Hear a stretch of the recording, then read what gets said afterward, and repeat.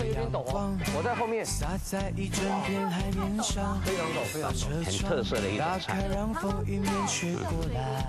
连菜细细长它是这样种把音乐放大，你我大声呼喊，不用牵我好的坏的我们花生豆腐一起分担就算天塌下来都要保持乐观。我不会因为环境的挫折跟困难影响我对艺术的创作，你受到挫折了吗？就是这些人的口舌，对吧？赦免他们，赦免他们的心思这么的肤浅。那这个教会真的是只有你在牧会吗？还是有？真的假的？假的，这个教会哪一个恩高啊？每个人来到这边病得医治就算了，神给他们恩赐跟才华，开始做起小生意来，不要留言会喝了甜梅茶，以后感觉会更更。快乐，会更上一层楼。为什么？为什么？哟，我们爱旅行，玩出好心情，耶！现在我们站在这个呢，可以说是这个当地的地标。当你如果来过这里，你看过这个地方，你就知道我们现在在哪里了现在。在哪里啦？哎，这就是非常知名的东门楼。我们现在所在的地方就是美浓呀！哇，美浓一想到，大家每每到这个逢年过节，我记得跟家人一起来这边玩，对就知道这里是鸟语花香了。对风景非常的优美。我想我们今天就可以去看一看，玩一玩，吃一吃它好吃的东西。耶出发吧，走！好了，赶快来上去去看看这个东门楼到底怎么样的风景，介绍给大家。走。哦，爬的有点陡哦，我在后面。哇因为免太陡了吧？非常陡，非常陡，所以你小心一点。这已经不是爬楼梯了，这是在攀楼梯了，所以这需要这个栏杆。所以这时当老公的我就要在后面帮助他，推我的屁股。推你的屁股。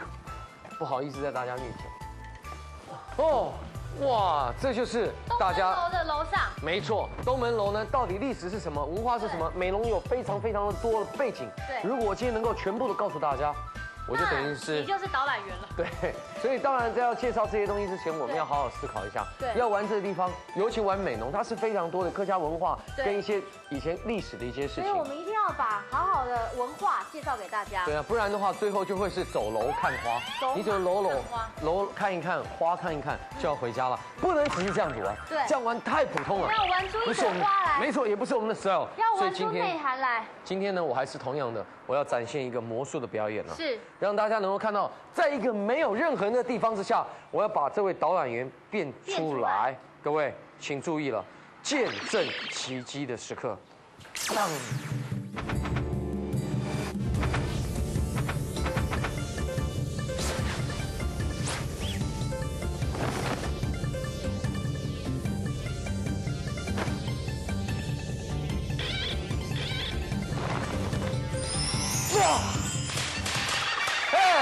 老师你好，哇，刚好要变成魔术，筋骨好像有点扭。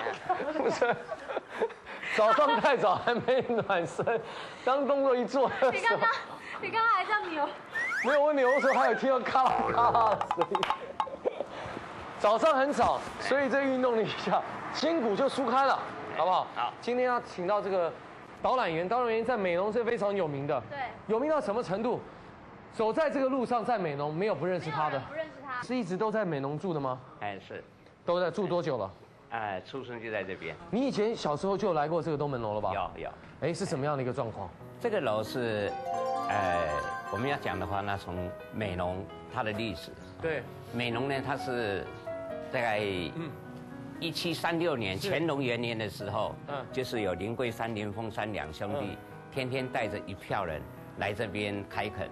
哦那之后到了一七五六年，我们的先民都是逐水草而居，是就来到这个美浓河的前边，哦就在这个地方定居下来。哦，因为这边有河，哎，对对，然后这条街呢，我们先民想要在这个地方永久安居，所以这条街就叫永安路。一七五六，那现在已经是二零一一年，哎，两百多年了。两百多年。但是在甲午战争的时候是，这个楼又垮掉了。到了一九三七年，那时候是日本政府统治台湾。对那我们附近的居民呢，大家就呃跟那个日本政府申请，就是建这个警呃这个楼，呃警报楼。警报楼哎这当时建起来是哎叫管制哨，管制哨。就想说，为什么要建个楼在这个路当中呢？目的是什么目的道场原来它是可以管成为一个制哨，管制哨那，后来到了民国三十四年，台湾光复是，那三十八年的时候，嗯我们附近的居民大家就募款，是把上面的这个警报台把它打掉，打掉了仿照满清朝廷的龙颜凤阁的形式，是就把它建了屋顶哦这样子。就把它改成中国风了。哎所以这个楼就现在的东门楼哎，这个楼是有这样的一个历史，是从这个阶段过来的。其实我们来东门楼不止一次而。且发现这里的居民非常的坚持，对，我们说我们来东门楼不止一次了。接下来的话，我们来东门楼不止一次了。对，东门楼不止一次，因为我们的朋友常带我们来，但是我们都不知道原来它的历史这么悠久，而且它里面的目的原来是这样你。看，这样我们在组织上面默契就有。因为我讲完了，他要讲他的，这样你感觉怪怪的，对不对？你老爹，你说是不是？你你都已经六十多岁了，你这我老婆了，嗯，也看到我们的情侣装了吗？有有这种秤就有这种砣，对不对？哎，公不离婆，寸不离砣这样子。谢谢你，太好了。光复后的中国风，理念来自于重视教育的客家人，期许后代子孙能够人文辈出。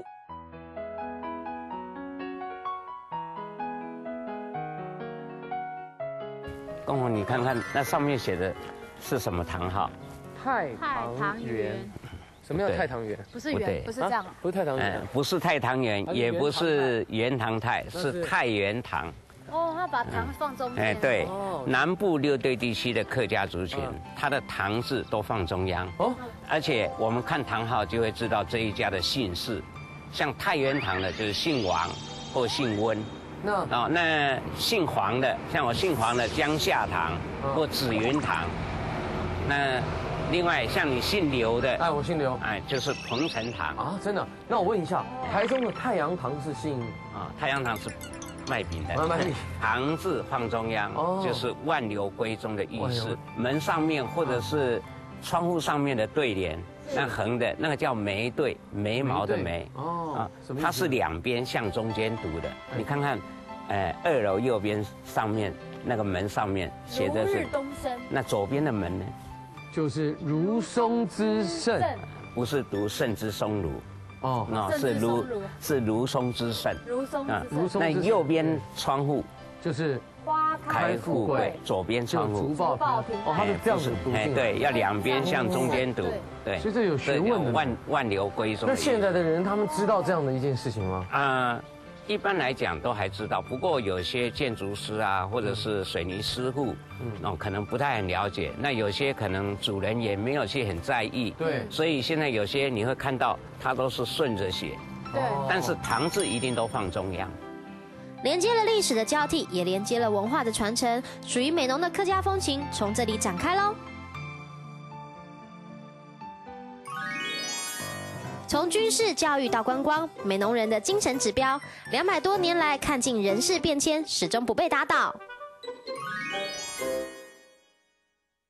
哦，哇。他们这是在做什么事情啊？啊，泡水，泡泡水、泡澡还泡水？采野莲呐，采野莲。采野莲啊，我知道，哎。因为我们每次来美容啊，或者是吃想到美容菜，就会吃一种那个那个叫水莲还叫野莲？，对，现在水莲，水莲长长的那个好好吃哦。它的学名叫做龙骨拌杏菜，哦，水莲这么长啊？哎，龙骨拌杏菜，是。啊，它一年有五收。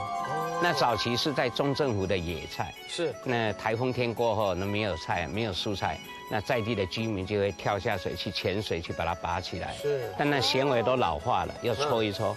那后来一乡一特色的时候嗯，啊，美农就把它把它种植。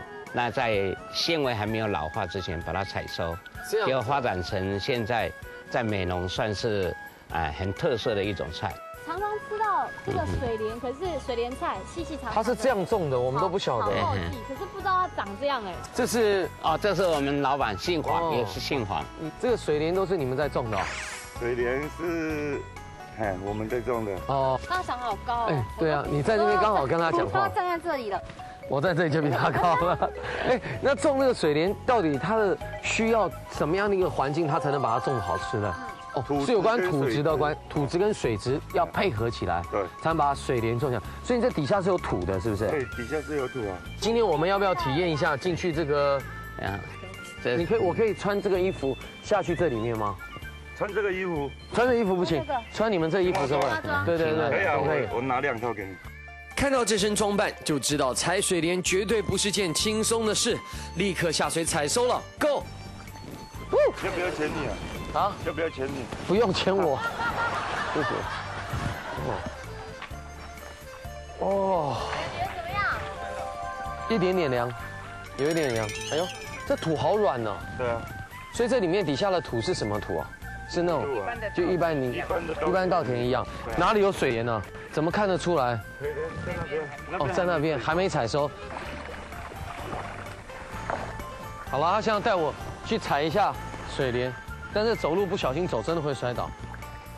哇，你看这上面的水上这个还有小花，对不对？对，这个小花就代表它熟了，成熟了。成熟了，所以它从底下开始把它拔起来，它是从土底一直长到这边来，对不对？对你水越你水多高，它就有多深哦，它就有哦，多长。就有多长就对了。哇，那水越深是不是越长？但采就不好采了，对啊，对不对？就是要放。怪不得你长这么高，就还蛮好采的了。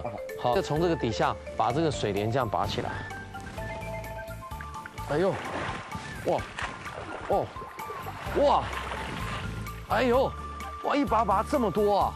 来，你的手。啊，谢谢你，根部要剪掉吗。根部剪掉叶，子在这。边，你看，原来在水面上看起来一小点点，你看底下原来有这么多，每一个都长这么长，所以这就是我们吃到的这个水莲。如今我们走到这边才知道，原来每一个都这么辛苦的采收。啊，这是铁砂掌还是就这样去掉？去掉啊，真的哦、然后再交给越南妹妹。会不会很辛苦？嗯，还好了。还好哈，那怎么剪？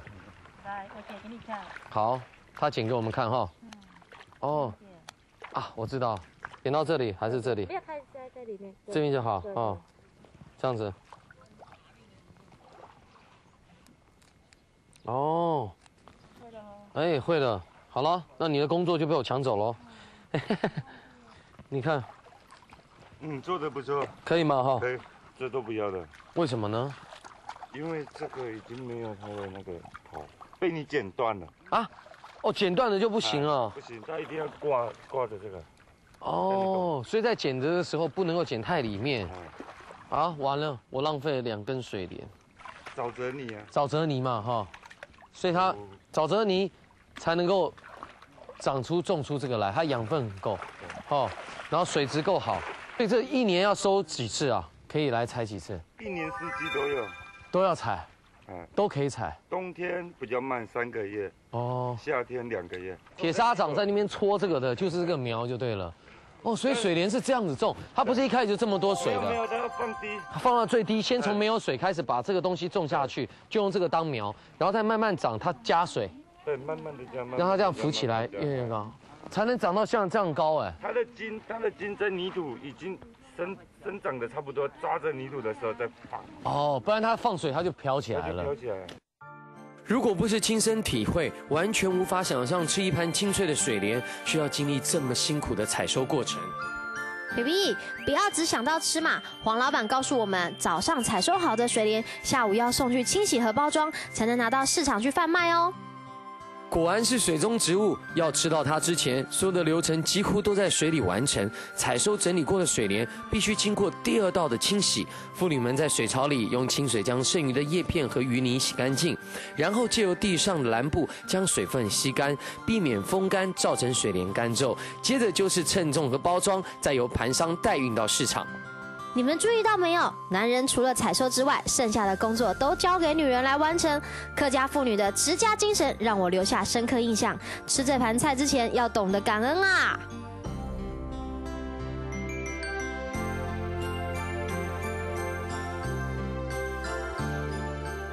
今天的体验让我感受到很多，所以你看每一行都有它的辛苦。绿油油的水田，在美农人的刻苦栽培下，一年四季谱出别具风味的田园交响曲。哦，美浓呢，就不能不吃一下这里的菜吧？没错啊，当然要吃一下客家的美食不然白来了。我们现在要带我们来的这个地方，应该就是吃饭的地方吧？对。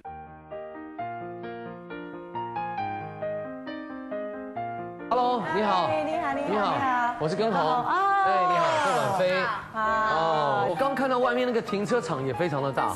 我看到了更外面。哎，哇，这干嘛？这院子怎么更大？怎么会想要？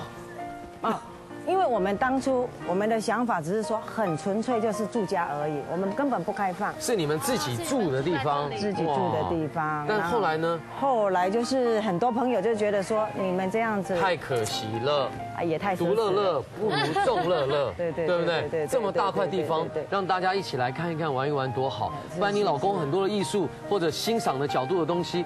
只有他自己看，没有人分享，更多人可以看到，对不对？既然园区这么大，我们先从哪边逛起呢？哎，来，那就我们从这边比较有代表性，对。哇，等一下，等一下，我看到一个好棒的东西哦，这个，这是真的还是假的？那是真的，真的可以看。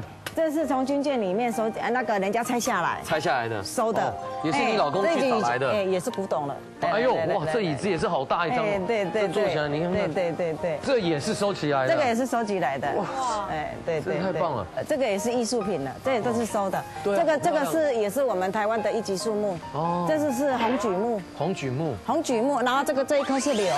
哦，是柳，哎，是它的柳，它的柳，树的柳就这么大。啊，它要长这样的柳，一定要上千年。各位，上千年的树就在这里了，好夸张啊！好大一棵柳哦，这树有多大？你看到它还要抱抱着石头嘞。对呀，哇，里面还有石头，树里面包着石头哦，这里面。哎，你看树里面包着石头哎。这也是这叫做巧夺天工啊，这也不能说是人弄出来的，这就是天然大自然造物主就把它做成这样了。这里占地约两千八百平，就像一座小型的石雕公园，开放的空间有一种无拘无束的感觉。这里的老板有疯狂的收集爱好，老板娘告诉我们，老板常常为了一件石雕作品三更半夜的跑去鉴赏，而有些作品大到必须出动吊车才能运回来。由于这样的一个坚持，让原本抱着反对意见老板娘终于能够坦然的接受了。看到这样的环境和游客脸上的惊讶表情，一切都是值得的，连我和根红都忍不住想放松一下了啦。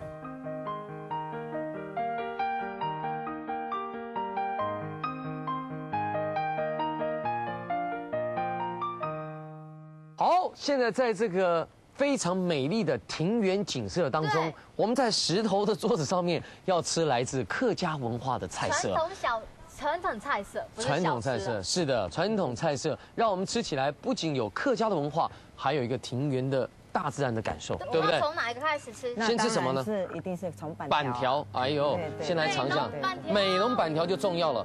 板条客家话叫做面趴板，面趴板。来，林东姐，就是毛巾的意思。毛巾的，为什么呢？它是用再来米磨成米这样去蒸。哦。蒸了以后，一块一块还没有切成条状的时候，是折在那边放，很像毛巾。真的好 Q 哦！你看我吃的当中会变这样子哦。牙齿在咬到它的时候，自然就弹起来。夸张。我怎么偷偷来到别人家里面的感觉？这是我的私房景点啊，真的。哎。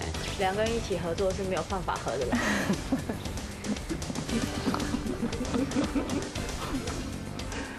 呃，祷告给病给病的人。对。对，然后刚才到那个，呃，很像火在这边。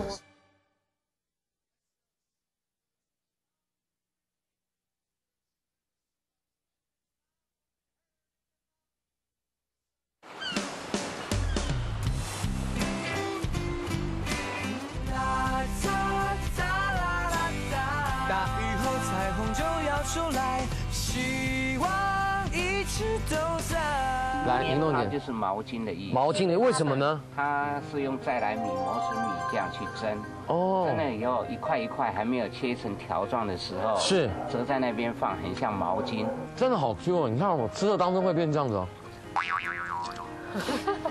牙齿在咬到它的时候，自然就弹起来。夸张。你不管是苗栗哦，你一直到屏东来到我们美容，嗯，口感就是没有我们美容的好吃。嗯。还有，好，那再来我们就是。哦，最特殊的芋头，怎么会是芋头呢？这不是芋头吗？不是，不是，这是我们美浓的特产。嗯，花生豆腐。啊，哎，这是豆腐？那是豆腐。的花生豆腐呢，它是一颗黄豆都没有。啊啊，一颗黄。通常我们豆浆跟豆腐都是用黄豆来做的，那你竟然一颗都没有，那怎么能叫豆腐？它是用什么做的？它是用花生和再来。我们来吃一下这个。天哪！好不好？你吃啦？好香哦，真的吗？哎呦，好好吃哦，冰冰凉凉的，哇而且它的花生味好好浓哦。它的酱汁跟花生粉合在一起，再加上里面这个再来米，嗯吃起来有一种冷盘的感觉。对，哎，对对它其实就是一个冷盘。这可以放到法国菜或美式的菜色，它都能够用。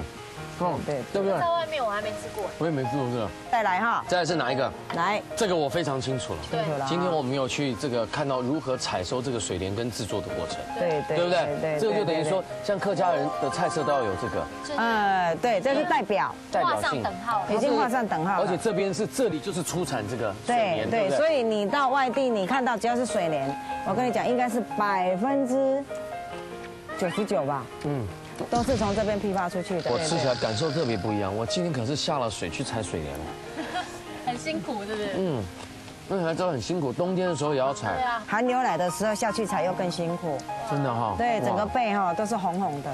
他虽然已经穿那个防护哈防护的衣服，但是还是还是透过去很辛苦没办法。对啊，所对对以大家对吃的菜要感恩呢。对不容易啊，而且这个地方因为它的水质好，对还有它的土的关系，才能种出这样好吃的水莲。哦，好，老板娘，你再继续介绍下一道。好来我再吃一口。再来哈，嗯，就我们的客家小炒，这就是客家小炒最出名啊。对对那你对看起来你的客家小炒好像比较辣哦。哎呀也还好，应该还好吧？这辣果然只是提味而已，没有非常辣，对，对但有一些辣。嗯，哎呀，对，也还好，看起来这样这么辣。哇，但是味道吃起来是不一样的。但是你看起来你就会觉得你像整体味道，其实跟一般客家小炒的味道有点不同。哎不同。好好，来美浓猪脚，这个猪脚看起来就不一样了厉，害啦，对，很像德国猪脚的感觉。创新的脆皮的，啊，这就是我们脆皮猪脚。哦，哎，啊，你要有一点类似像德国，但是他们两个不同的方式，不同的方式，一个是卤过卤过、然后我们再来烧再再炸过，炸过。哎，对，让它脆脆的。德国猪脚的脆是因为它用它是烤的，对，但这完全不同了，对味道也不一样。试试看，怎么了？我的表情好惊讶你哦吃德国猪脚是不是一咬下去应该是硬的嘛？对，，QQ 硬硬。这外面我以为是硬的，我一咬下去就柔的跟水一样，但是我嘴巴还有皮的这个咔哧咔哧的声音。哇，这里面脆脆的外皮，咬下去的口感到里面像是经过一个深陷的枣泥里面的感觉。你好会形容哦，嗯让我吃一口看看。我刚吃的时候我吓一跳，我因为我以为是硬的，像是啃德国猪脚的感觉，结果不是，对，里面整个软到爆，好软哦因为哦。我们说给长辈吃的话，他也不会觉得说不会，这老人家吃绝对不会哈。对啊，一般德国猪脚，老人家一看到它就太硬了，就没有办法吃。哇，你看我这样一咬下去，你看为什么？丝毫不费力就把这一块咬下来，在我嘴中弹呀弹的，那个脆感要怎么讲？哇这年轻人、老人家都会喜欢吃卤过，所以其他猪脚已经是很软烂。入味。对对，已经很入味了。外皮啊炸的酥一点，然后你整个吃起来就是外酥内软。老爹在旁边一直吞口水，我都不知道该怎么办好。老爹，口水，我只是流口水。哦，我知道，欢迎大家来这边走一走，非常好吃又好玩的地方。别有洞天的庭园餐厅，有山水相伴，石雕作陪，记得带上好心情哦。哎，对，我怎么我们走小巷偷偷来到别人家里面的哎，感觉？这是我的私房景点。啊，真的哦，哎哦，私房景点。哎，哎呀，嗯，这个这个主人很年轻哈，嗯，四十年前二十岁哈，那，这写纸伞呢，哎。老，爹说四十年前二十岁，那现在已经六十岁了。了啊。哦，前面那个就是很年轻的资深青少年，哇。嗯，，Hello，先生，嘿，欢迎欢迎欢迎，哎，那我跟你介绍一下，你好，你好，这就是资深青少年。这是年，二四四十年前的二十岁的青少年。林龙娟，哎说我有自闭症的，哎，不过看起来不像是一个六十岁的对非常年轻。这位是这是吴建英老师，吴建英老师。是我们客家文物馆的剪纸志工老师。剪纸志工老师。美浓硕果仅存的油纸伞工厂，目前由第二代的林老师夫妇接手，在老爹的带领和说明下，发现他们在纸伞上结合了不同的创作元素，不仅赋予纸伞新生命和商机，也将纸伞提升到艺术品的层次。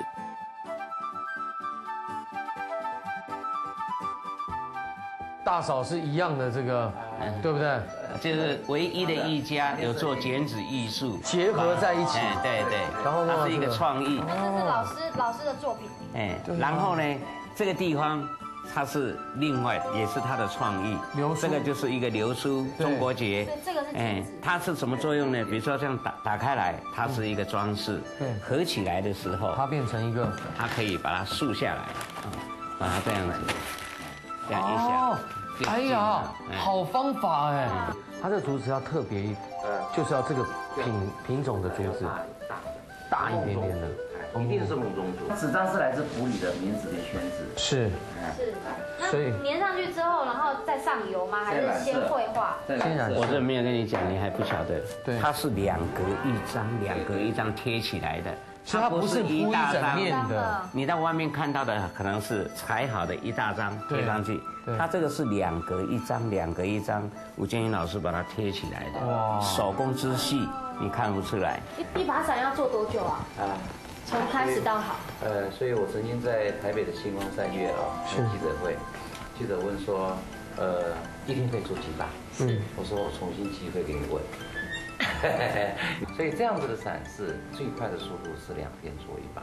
原本五级林怀民是白蛇传，白蛇传里面的伞就是用他们真的啊？哇，我觉得好精致哦。对。可以。哦是。这边也有做纸伞 DIY。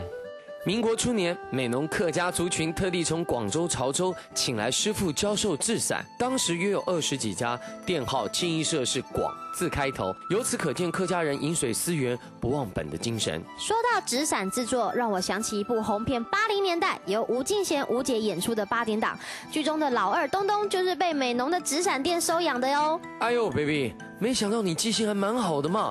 自从民国五十年代起，政府引进洋伞后，纸伞就变成夕阳工业喽。直到那部连续剧播出，日本人到台湾疯狂的抢购纸伞，美浓纸伞开始花俏了，并且从实用的生活用品成为艺术的收藏品哦。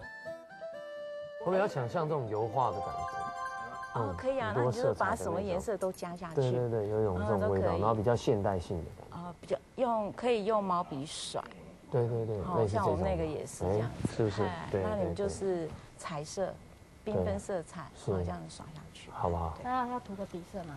嗯，可以不用啊。也可以不用，看怎么那个。好啊，来，那就这样了，好不好？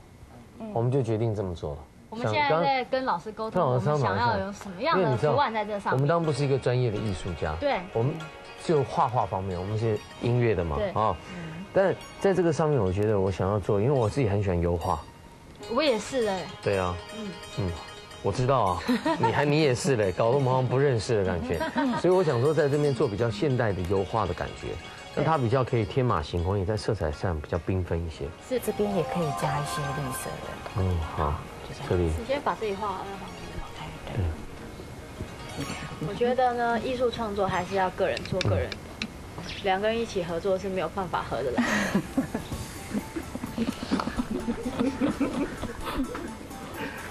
这散完了啦，卖不出去了。有的救吗？有啊，你看你站在什么样的角度去看？我钢铁大王有讲一句话，是那个可耐基说，一个人在他的出发点都是狼狈不堪的。真的。对，出发，怎么我听完没有被得到鼓励？前都是狼狈不堪的，所以也就是说这把伞是狼狼狈不堪，好可怜么听完没有被哦。鼓励的感觉？伞呢？老，爹，你要说这个造就人的话，这样近看可能眼睛花了。没有，我拿远一点给你看。你不要动我。哎你的手干嘛？帮你补一下。很鸡婆哦你。经过创意的构图和豪放的画笔挥洒下，不朽的创作就要呈现在各位的眼前啦！我不会因为环境的挫折跟困难影响我对艺术的创作。你受到挫折了吗？就是这些人的口舌，对啊，赦免他们，赦免他们的心思这么的肤浅。谢谢主，哈利路亚，好不好？今天我就算是完成了我的艺术画，你看放到旁边。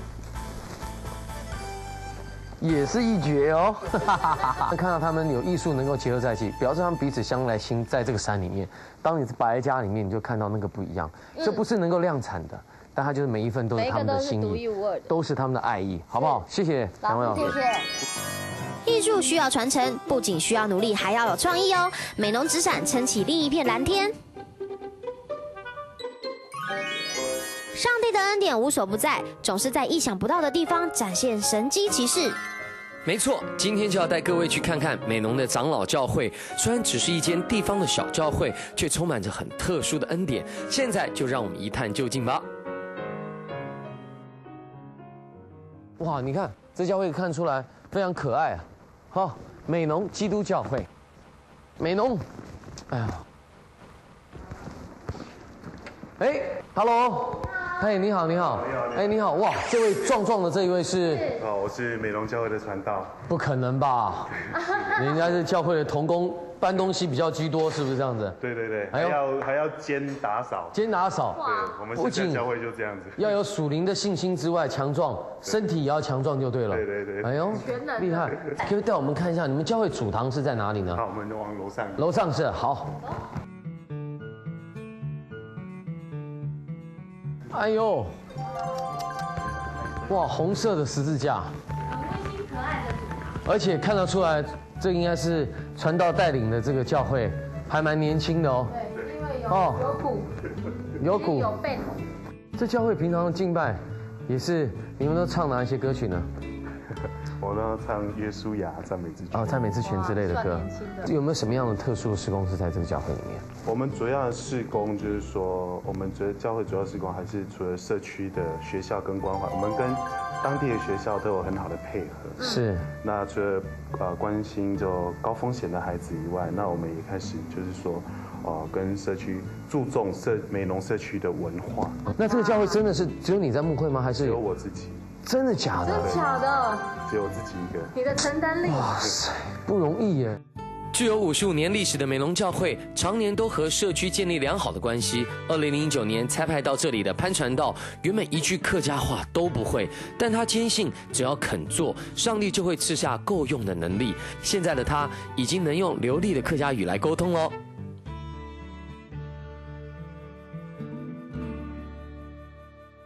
你现在几岁？三十三。三十三岁，真的需要早一点来服侍上帝，在你年轻有为的时候。现在正值我们，你像知道我每天要忙多少事情，但是正是我们服侍神的时候，因为在世界需要我们的时候，也是神最需要我们的时候，我们就能够在这借由我们的影响力，我们也能希望能够为神做更多的事情。把自己的生命奉献在主的手上。对。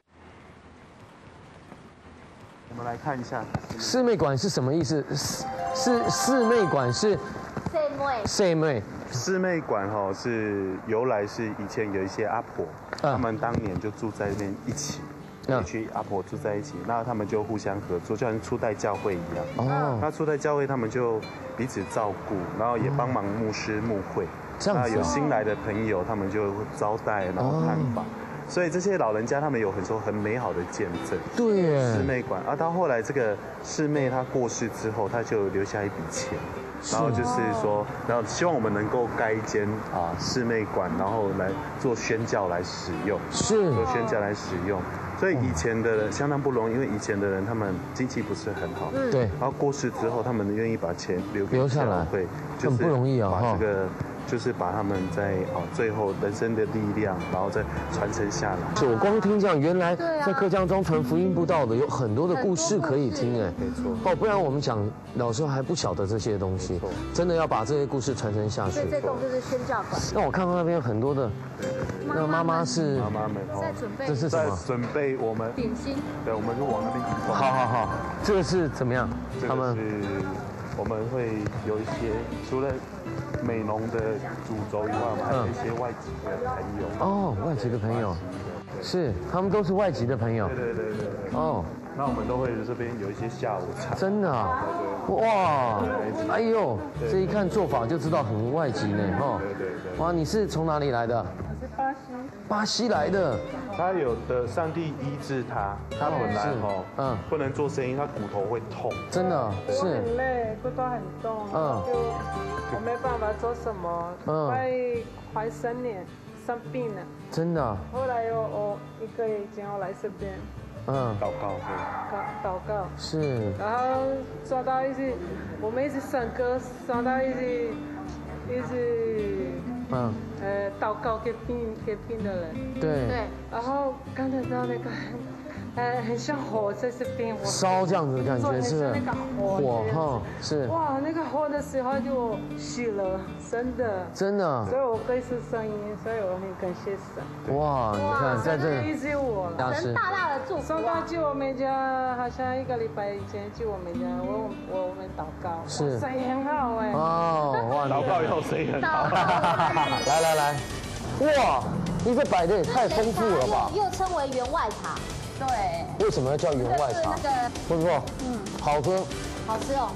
就是他工作辛苦之后，哪一趟这个。我们一个人一个人的那个工工作室，个人有个人的私人的工作室就对了。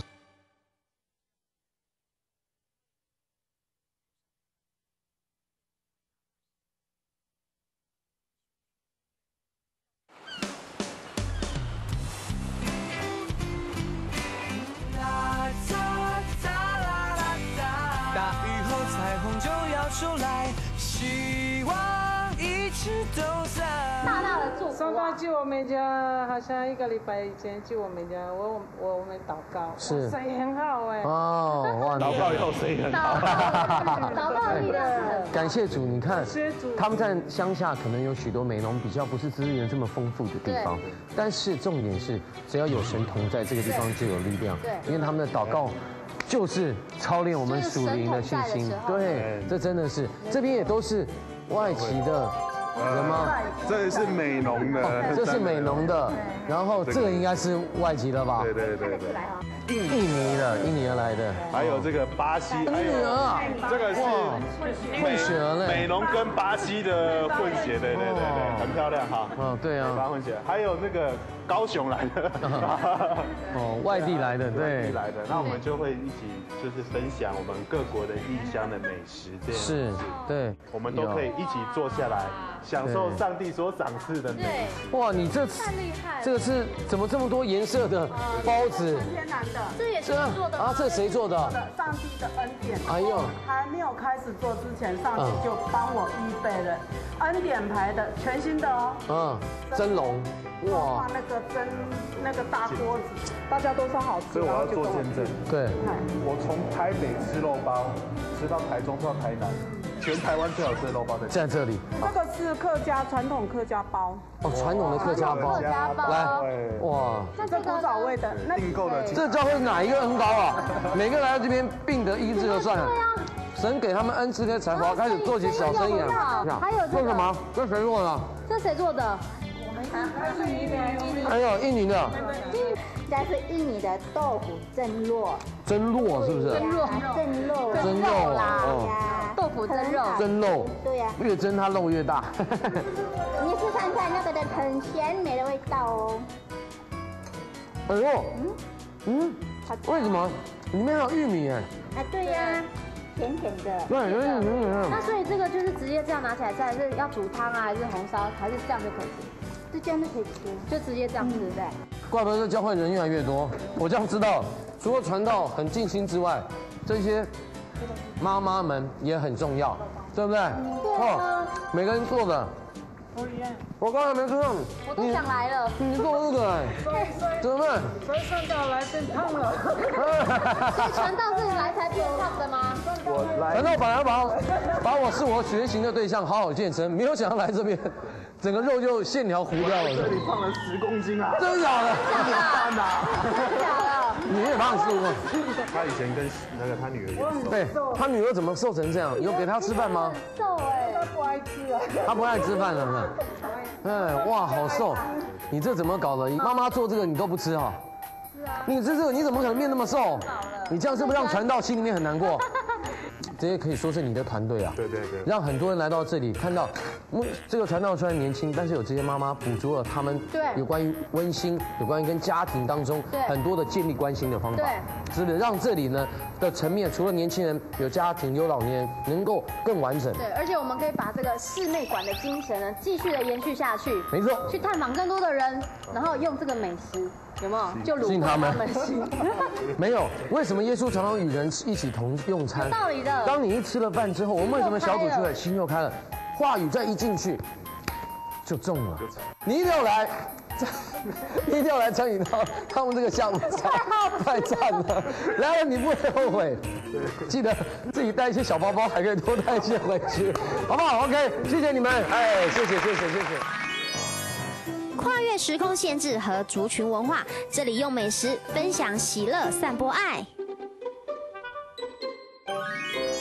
介绍了这么多，我口都渴了啦！快说哪里有好喝的东西？别动粗，有事好好说嘛。准备录影喽！有一个地方我们绝对不能不去，那就是客家擂茶。对，干嘛走了啦，进去客家擂茶，赶快来喝一下。在客家来讲，我们说客家菜就是要吃客家擂茶了，对对不对？走，引你进去。Hello，哎你，哎你好你好你好你好啊你好你好，你看这个多有客家擂茶味，这个装潢应该不是三天两夜能够完成的。对，哦，这是集我们那个大家哈美农人的一个智慧。是，这衣服是干什么的啊？我们是希望利用那个嗯影像啊，把我对们老祖宗的那种以前的穿着，把它留下来。哎哦是那婉菲要不要来穿一下呢？哎呦一下客家的妇女哦。干脆我们待会就来穿一下。啊这是那个蓝蓝衫吗？对对，这就是蓝衫那这是员外服，来跟我们当一下员外服。我有这员外的感觉吗？哎，对，穿上来就有了哈。就有了吗对。马上要开始，我来喝一下，到底这边的擂茶好不好喝，好不好？来来来，哇，你这摆的也太丰富了吧？又称为员外茶。对。为什么要叫员外茶是那？个以前的有钱员外的一种休闲养生茶。哦，是刚好，请问一下，这是什么棒子给你擦？雷棒好，雷棒哈，那对不对木头做的？我知道，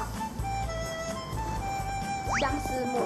柚木呃，只要可以吃的木头都可以当雷棒。哦，真的啊可以吃的木头什么意思？那我知道。木头的话可以吃的？拔蜡树。哎，对对对对，来给到热烈的掌声。真的啊拔蜡树可以啊真的真的真的。这个是什么东西？绿茶粉？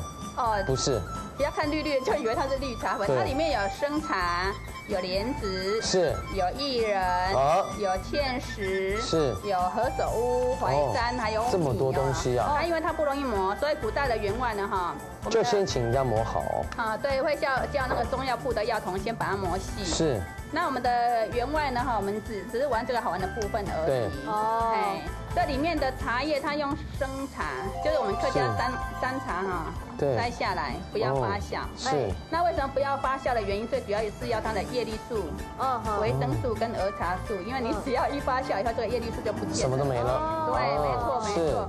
是，所以这样一直磨，对不对？对对对对对。厉害了哦。来，其实擂茶我也是曾经吃过的啦，开玩笑。哇，好香哦。好香哦，那个芝麻香味。那哎，一般来讲啊，如果是平民老百姓喝的，它有那个接客跟送客。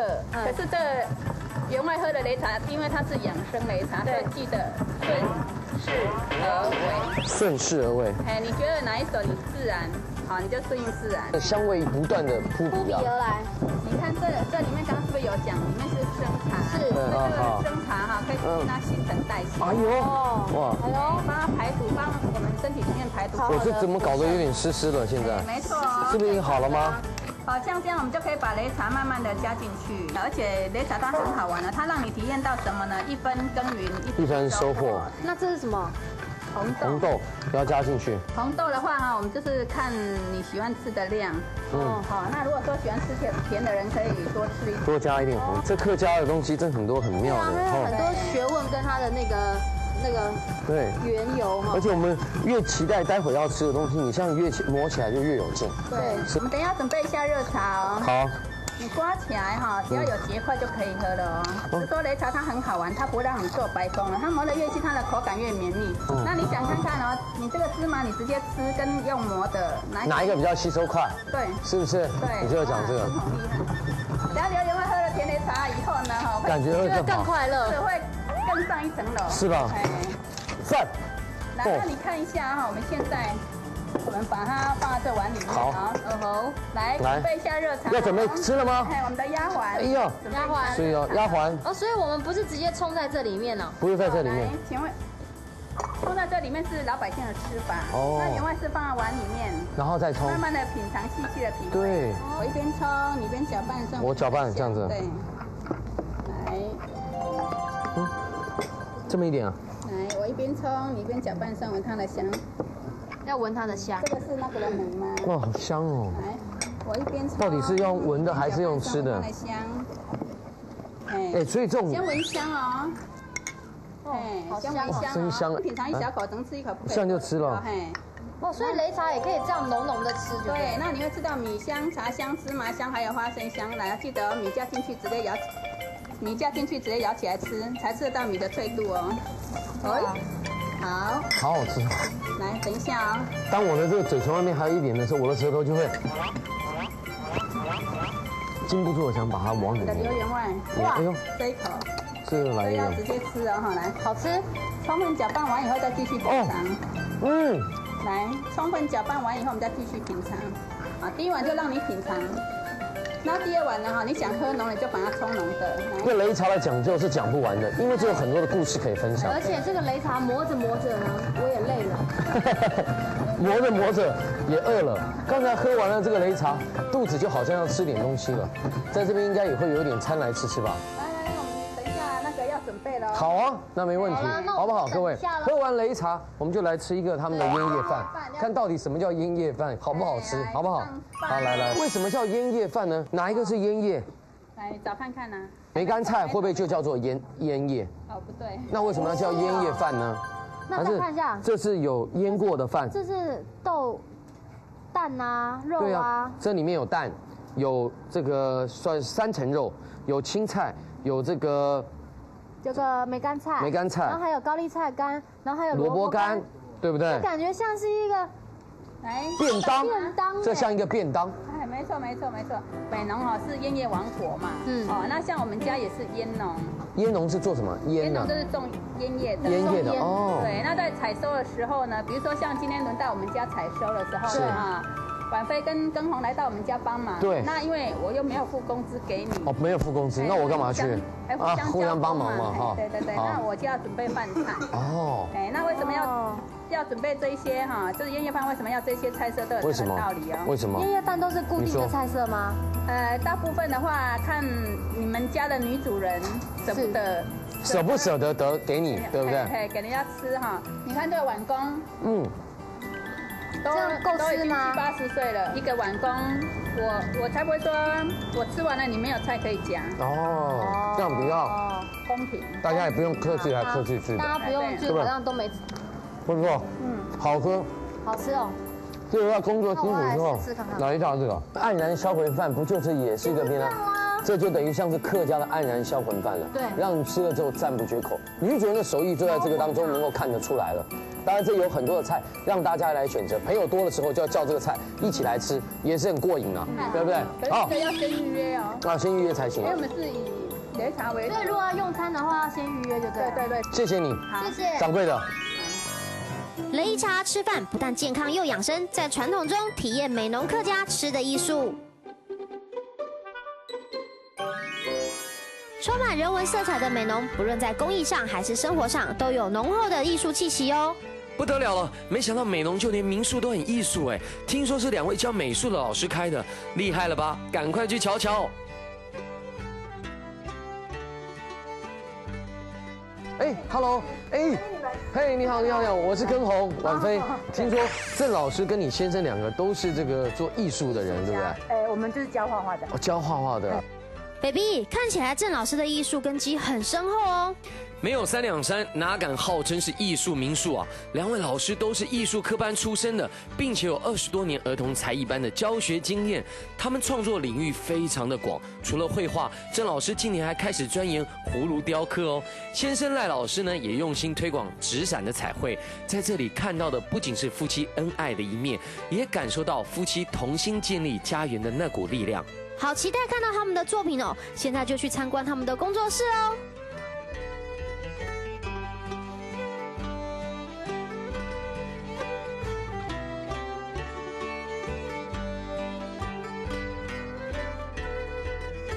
们一个人一个人的那个工工作室。个人有个人的私人的工作室就对了，所以艺术创作不一样的。艺术创作者是这样，他们有自己的私人空间创造力，因为艺术就是不要再烦我了。对对对，不是不能说不要烦，需要有自己的空间来 创作。有灵感。那些都是你一些做葫芦的工具跟东西这样子。对。那你之前是喜欢画画？我早期我是别人说我是做棉纸丝画。它弄起来还有点油画的味道，但是它的那个突出感跟絮絮就会感觉到不同了。你看，它的那个那个纸的纤维还是在的。当时怎么会做这件事？因为好像不是很多人在玩这个哈。对，其实这个不多。那因为我我当初我的想法是，便是因为我做我现在做民宿，对，那民宿平常的话客人比较少，是。那有时候客人，比如说我们在创作的时候，刚好客人来的时候，我们我们要马上停止，对。所以这个东西我是变成说我可以慢慢就哎。哎，有有时间的时候，有时间我就做一点，对，哇，你看，十分钟就做一点，然后不像说像我先生画水彩，对，你他不可能说画一半的时候，好，我停下来，我要做别的事，没办法。哎呦，你看，这老婆真的太贤惠了，还为先生着想，对啊，所以他选择一项不要不会，好好的专心专心的创作，然后选择可以停下来，停下来的，万一客人来，他就来服务。那先生在干嘛呢？还在创作，就在对门，你看，哎呀，好好好，来，哎呀，哦，赖老师的教，哎，赖老师，哇。这个你没想到，你跟郑老师是有不同的创作空间，是不是？是客人 DIY，我们客人可以来体验。哦，所以我们客人也可以来学做这个纸伞，然后带回家去做一把自己的小伞架。哎，你看在这边真的太有趣了。所以这个民宿这边虽然是这个风光明媚、田田园清香了，但是我们来到这里还可以学到一技之长。对，我们都是教美术的，它刚好结合我们民宿，然后跟客人用这个来做互动。哇，你这太有艺术的一个民宿了。这栋白色双层欧式造型的建筑物，早在一九九八年就建造完成了。原本只是当做儿童学习艺术、美术教学、户外场地及自己艺术创作的空间之用。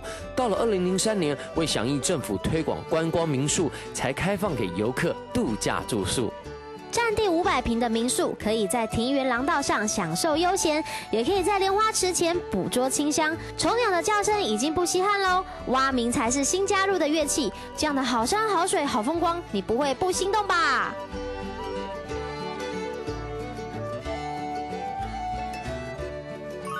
让我们玩就可以玩得深入一点，玩出感动，玩出爱来，玩出一种新鲜感，永远存在，好不好？我们爱旅行，玩出好心情。我们下次见。